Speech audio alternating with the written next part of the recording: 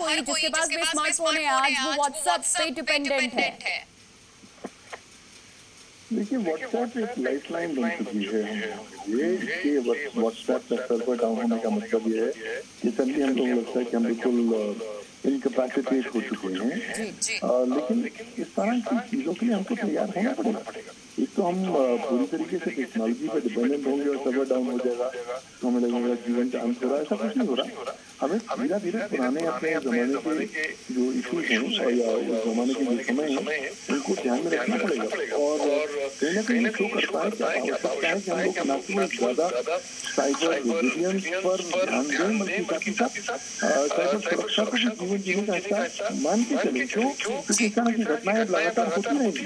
आज व्हाट्सएप क्या हो रहा है कल किसी और के साथ होगा तो इसलिए हमें तैयार होना चाहिए कि कहीं कहीं डाउन होता है तो हम लोगों की रोज़मर्रा की डे टू डे एक्टिविटी चीज़ें वो नकारात्मक रूप से प्रभावित ना हो हो। सकता है। ये साइबर सुरक्षा में चेंज हो हो सकता है ये मेंटेनेंस हो लेकिन मेंटेनेंस की बात नहीं लगती क्योंकि अगर नॉर्मल मेंटेनेंस हो रही होती तो कंपनियाँ को पहले से चेतावनी देने के साथ हम इसकी रेट में डाउन रहेंगे।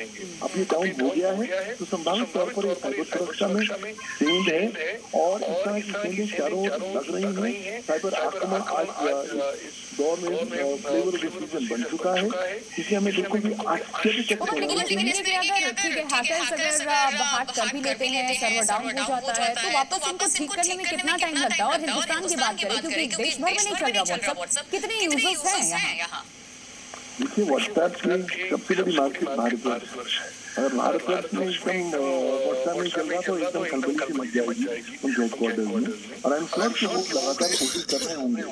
ये संभावित तौर पर अनुमान लगाना के लिए कितनी देरी में वापस सर्विसेज़ रिस्टोर होंगी। डिपेंड करता है कि कितना सीवियर या कितना स्ट्रॉन्ग साइबर सुरक्षा में शेंक लगेगी कहाँ लगी है, कि साइबर आक्रमण हुआ है तो क्या हुआ है, उसके कॉन्टूर्स क्या है। इसके लिए हमें इंतज़ार करना पड़ेगा। लेकिन बाइंड लार्ज लगता है कि कुछ देर में ही इस तरह की सर्विसेज़ कंडीशनल तौर पर चालू हो सकती हैं जो अल्टीमेटली पूरी तरीके से करते हैं क्या ये जो सर्वर डाउन हुआ है अब ये भी अंदाज़ा लगाया जा रहा है कि माइट भी साइट को हैक किया गया। उनके लिए भी क्या ये अलार्म है किसी तरीके का उनकी सिक्योरिटी को लेकर के कुछ थ्रेट देखिए तमाम सारे उपभोक्ताओं को जो व्हाट्सएप इस्तेमाल करते हैं ये डाउन होना एक अलार्म सिग्नल है।